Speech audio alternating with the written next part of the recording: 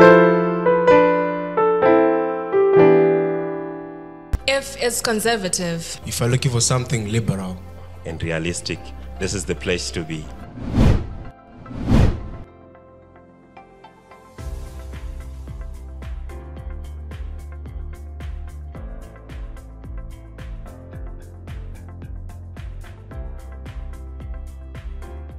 Hello, welcome to our podcast where we deal with issues affecting the youth and the community at large. In the previous episodes, we have been talking about uh, Roora, financial literacy, and uh, I want to draw uh, particular attention to the episode where we spoke about the issues that are troubling the youth in terms of them not getting married. So the guys had their session, the ladies also had their session. And we decided to bring uh, a young couple on set to discuss and to give us advice. They, um, they're ahead of us. And as you can see, there's a gap here. It means uh, they are together and we are, I'm, I'm still single. So we are here to actually understand um, their process. And with me on set today is uh, Mr. and Mrs. Katona. Welcome to our podcast. Uh, I would like to ask the the outfits are matching. Is this an everyday thing, um, or is it just, a coincidence? Well, I think it's an everyday coincidence. Or it's an everyday coincidence? yeah, well, we'll, we'll try by all means to almost look identical. Okay. Yeah. All right. Uh, is there a, is there a, a significance to it? Uh, what happens when you guys fight um, in the home? Uh, so, so the reason why outfits are almost similar is if we, when we do fight, it just reminds you that you, you're fighting, but you actually have uh, more in common than not. Than not, okay. So sometimes it's, it's something that quickly, you know, hits you to your mind that, oh, okay, so we're misunderstanding, but doesn't mean that we're actually not together. Oh, interesting. I'm gonna go back to that one, but uh, let's let's talk about your journey, right? Uh, in the previous episodes, we uh, the the gents were talking about their struggles. So now Skubatana, um, they're not ready. They haven't found their rib yet, and the ladies also mentioned issues to to to do with they're still pursuing an education, a career. They're still job hunting. They want to enjoy on their own. Um, please um, tell us about your journey uh, before marriage, uh, how you guys met, and how you got to the actual Roora. You want to start? Sure. Sure. Um, so we met at a youth gathering. Okay. before we met at the youth gathering, we actually went to the same school. Oh, Yes, like the same high school. But when we were at school, I never used to talk to this guy. Like, Okay. I didn't like him at all. Wow. You, you was just a guy there somewhere. No, like I was just a guy who I thought, hmm, okay, a lot of girls like this guy. Oh, I'm okay. not like I'm not the uh, like It was just a cool dude. yeah. So I didn't like him at all. We never used to talk. Um, yeah. So we're at the same school, minding our own business. I was minding my own business. He was doing his, and then we went our separate ways. And then it was like, how many years later was that? Five. Three. Oh yeah, three years later. Yeah, there was a, a, a youth social. So my brother, who I used to stay with, and wife were the heads of uh, the youth at our church, at City Center Church. That was in Bulawayo. Okay. Yeah. So I remember. city center thing. Yeah, it's a, Yeah. yeah, it's a so I remember that particular Sunday. I actually didn't want to attend the, the youth thing, but because I mean I stay with the elder who's in charge of. Okay. It's like everyone is going. so yeah, went there and um, it was about to finish Okay. When we arrived, and then that's when I saw him again. And then, Dying minutes. yeah, like in the, in the last minutes of this program, it's about to end. So uh, my brother had a had a baby, so he comes over and he says, "Oh, hi, you now have a child." I'm like, no, it's not my child. It's my brother's child. Okay. And then that's where the conversation actually started, and it was yeah, it was the beginning of everything to today. Okay, so what I'm drawing from this is place matters. The the, the meeting environment. Had you met, let's say, um, uh, for for crying out loud, had you met maybe at the airport or um, at a at a race course or anywhere else that was not um, uh, a convenient youth gathering, do you think the outcome would have been the same? No, like you're saying, so yeah, place does matter because it was a relaxed environment mm-hmm. and we had ample time to talk. I'm sure if it was at the airport or something else, oh hi, how are you doing? Like there's no space for a lengthy conversation or anything to say. So what have you been doing? How's life? Mm-hmm. Things like that. Okay. All right. So to the viewers, it matters where you meet. All right. Yes, Mr. Katon. I don't say the fact that uh, we met in an Adventist setting. Um, I was born in an Adventist church, and that's all I knew. You know, as you grow up, you the the sermon that keeps ringing is uh, do not be unequally yoked with unbelievers and, and so forth. So when you get to um, a, a a church social, and you you see this person and you just feel this magnetic uh, attraction, right? It already tells you that I think she's probably the one because she she attends church programs. Okay.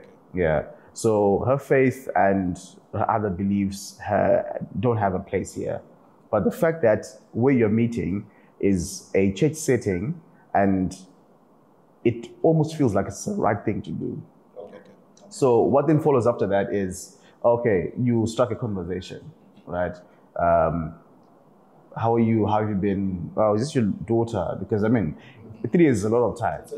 Yeah. So after high school, someone can just have a baby after that, and you know things happen. So I, I needed to be sure if I was walking into a lion's den or as you know. So you know it's not my brothers, and it was no, they were so cute together. They really looked like you know. And so from there, the conversation started. I, I, I, I, I didn't propose or, uh, well, in, in, in other terms, I didn't chat. Yeah, it was just conversation. And we were vibing really good. And the program ended, went our separate ways. Okay. Then we didn't have phones. All we had was landlines. landlines, right? Okay. So we exchanged our landline numbers. But you wrote it on paper. What we. and I was quite sharp. And my, my, my number was quite big, was quite simple. So I just gave my number and yeah. yeah. So got You home. gave her your number. Yeah, yeah, yeah. I also got her her, her number. right. But well, I'm the one who called first. So got home, a day or two went by, and then I called. Ah, hi, uh, what, what, we, we spoke. Like the previous conversations. It was, it was just conversation. Until a time when she would call and I would actually go under the dining room table, uh-huh. sleep there, have a long conversation. Yeah. and every time the phone would ring, my mom wouldn't even answer the phone. She knew. Yeah, it was She would just shout, hey, when I put that phone yako, you know, then I'll go and we would talk. so we, we hardly actually had like physical contact uh, in probably first three, four, five months of our Wait, what, what, what was the, the, you were both in Bulawayo? Uh, what was the, the, the distance between the two of you? Okay, so it was intentional not to meet?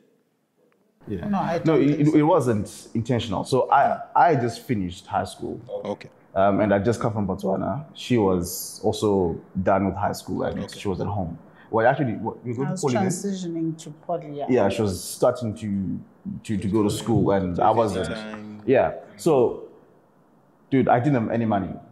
I didn't have any plan, so I wasn't going to be going into town for nothing. So I'll just be at home the whole time. Saban Definitely, definitely. So yeah, so we, we, we kept on talking on the phone until I could tell that okay, I think I think I think I can try.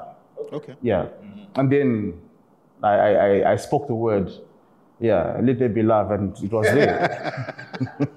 Did you? Let there be love. He actually didn't do it. Tell us. So to this day, I actually say to him, but you know that you actually didn't ask me out. And then we laugh about it. So I guess it was um it was a, a friendship, I'd like to call it, Okay. that grew into it grew to an extent where we got to a mutual understanding, I suppose. Because I don't remember a time when you actually said, No, I actually like you, so can we go out? Or Did you say that? no, I was I wasn't about to become, um, you know, that guy. Or, yeah, I like you, so uh, can we try this?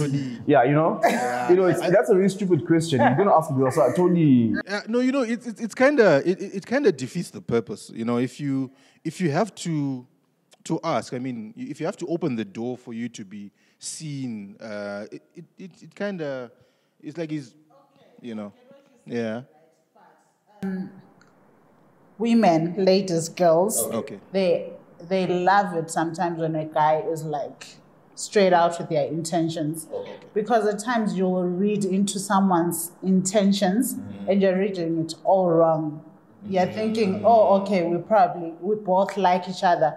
Can't know the other guy is not feeling it's the way you are. Mm. So sometimes it's always okay for you to then state your intention so that I know what I'm also stepping into. Oh, okay, Because imagine if I had said, oh yeah, we're mutually agreeing, and then months later it's like, no, but I you know? Yeah. So for women, we're emotional beings. That's not a nice thing for you to be into a guy okay, and the feeling is not the same. So sometimes it's okay for guys to actually say, no, I actually like you. How about? Okay. You know? Yeah. I I want wanna to come back to the baby issue. Say she actually had a baby, would that been would that have been a deal breaker for you?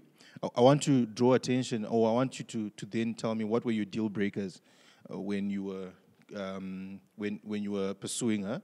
What then did you consider apart from that she was the same faith? Uh, let's say she actually had a child. What would have been the future? Okay. Um, I want to put this disclaimer. Okay. I wasn't pursuing her. Okay. We met, uh-huh.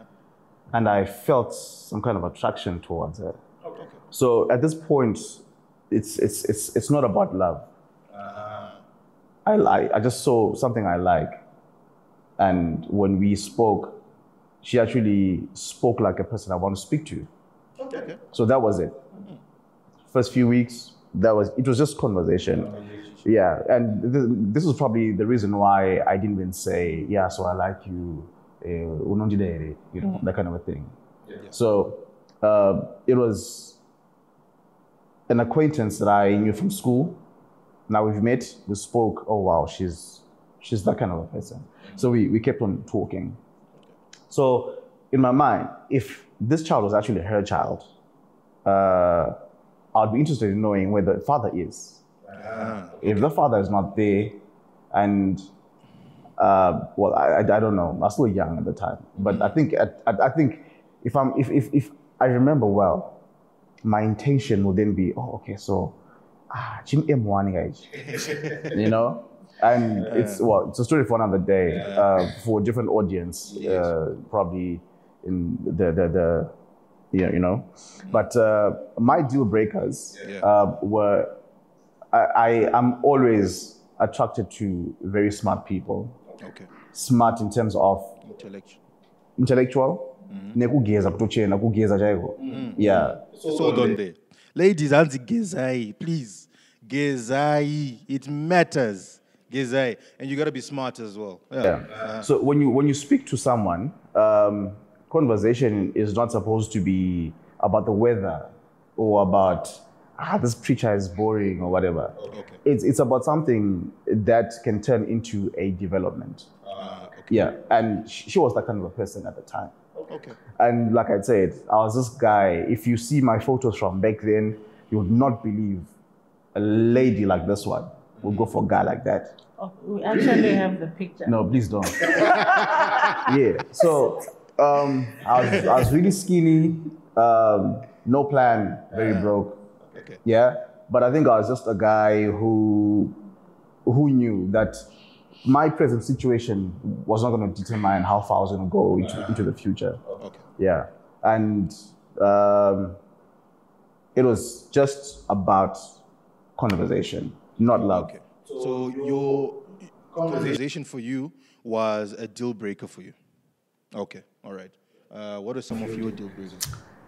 So I've always failed to answer that question actually okay. because um, I'm one person who, when I get into it could be a relationship or a friendship, I don't get into something so that it breaks. I mean it to say, yeah, I really put my all in it. But because we grow up and then we experience life, we've got feelings. I guess my deal breaker will be if I actually really try with you, and you know that I've tried with you, and you're not um, appreciative of that, I then remove myself from it.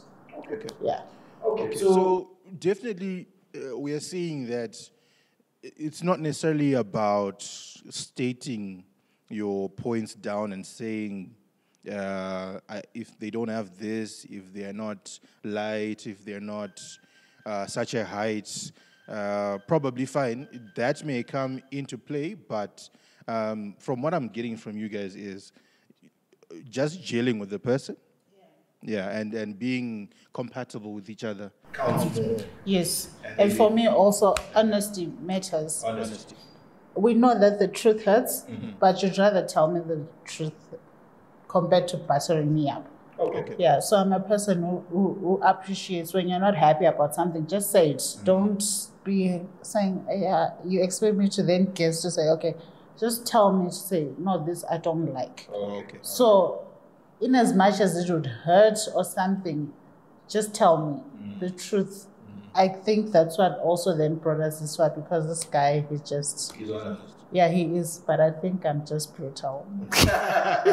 So, so what actually happened was um, in, in this whole circle of honesty, Yeah. Uh, I came as I was. Okay. Yeah, I didn't want to portray myself as this person. The broke, skinny guy. Yeah, I didn't want to. Portray, I, I didn't portray myself as this guy who had things, and you know, we actually lived in a very affluent uh, area, but that that wasn't about anything. I was me. I wasn't anything about my parents, where I come Yeah. from, and what what happens. Yeah, and I was really open about what it is about me. Yeah, so that's where it all started. And I, I like that. I think it's a point to a lot of guys. A lot of guys are in the rat race or they constantly want to impress ladies. Yet, you find ladies who actually like you for who you are without trying too hard. Um, not everyone wants uh, someone who's established, I guess. Uh, someone wants to actually build with you. Yeah, so I, I enjoy I enjoy what you so what you said. Um, let's go back to the matching outfits. What other things uh, between the two of you are reminders that you're together or are similar apart from the matching outfits? Do you have other things that if you try to go this way, then you definitely know how it reminds you? Yeah, that's that's that's a tricky one. I think we've just grown um, to know each other and just to to be in sync. It's actually quite difficult for us not to be in the same space. We basically do everything together. So your likes and interests are the same? Definitely not. Yeah. Yeah, yeah. I'm I'm I'm a very different person. Uh, my interests are a bit too heavy for her. Okay. Yeah, some of them, and uh, But she still tags along. uh, yeah, she does, and uh, most of them are dangerous, and she still wants to tag along, and I'm like, oh, okay, you know what? Maybe not this one, you know, but uh, they they're all quite helpful. So I'm a, a guy that wants to go out there and do things, and she's a lady who wants to be there for you all the time. Okay, so supportive. Yeah. And you know, sometimes I don't want that support because what I'm getting into doesn't need support. But I'm never lucky with that. She's always there, you know, yeah. And I'm actually happy for that because I don't need Zora, you know. Yeah, because some of the things, u- u- uringochiti, ndikuchita semurume. but sometimes uh, they have the eagle's eye. They will see into that plan and say, okay, dude, uh, if you break a leg, I'm going to spend six months nursing you. So let's not do that. Yeah, that kind of a thing. I appreciate that. Um, I'm just showing that you guys complement each other.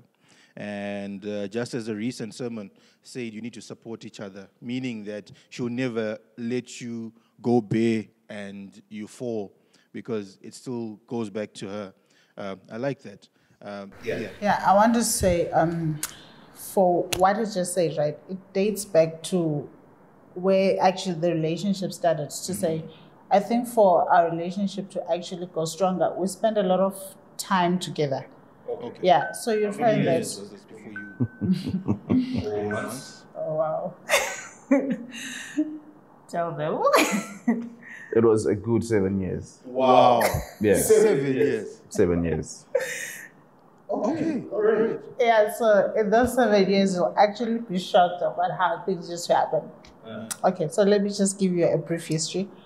So I'm not the girl who you'd call and say, yeah, so let's meet by the shops or whatever. No, if you want to see me, you come home. Oh, to your mom, to your Yeah. I used to stay with my brother. Okay. okay. So my dad passed away. Okay. Yeah, so I used to stay with my brother and wife. So I'll tell him to say, if you want to see me and you're serious about this thing, this was a time when we'd moved from friendship to relationship. Yeah, you have to come and see me at home. And he thought, oh yeah, I'm joking or something. But eventually he came home Every time or Sometimes. every All time. the All time. the Did you time. have To go to Pizza Inn and all that, or you just bring it home? No, Lucky no, you, man. Lucky home. you. Yeah, so we No, there, there was no luck in that actually. Uh, I was fortunate that the, the The brother was open-minded. Okay. wife, So that actually actually allowed me to come and see her. Ah, Yeah. All right. Because um, there's a lot of dangers uh, going to uh, the food courts Yeah. and, and so forth. Because you might be tempted to to be there longer, and you are in an appropriate space together. Okay. You know, and uh, unfortunately for me, uh, she had like a very strict upbringing Okay. like myself, but I was uh, one of those ah, but Nakura, you know. Um, so I, I didn't have uh, uh, what we call them, uh, white benefits on the bottom Ah. tender. Wow. I, I Okay. didn't enjoy any of that. You wash your clothes through and through. Actually, she only started washing my clothes when we got married. Wow. Yeah. Okay. The only thing she did was cook Wow. at her house. And come and eat our house. You wanted to So- cooking, you come house. You know what? This is what I want us to do. Let's round off this segment, then we get deeper into that after this. This is our podcast, and we are talking about getting married or Roora, and we have Mr. and Mrs. Katona. I am Ronon Yamkua. We are going to have a part two of this podcast, and we are going to dive deeper into their relationship, how they then got to get married, and their life after marriage.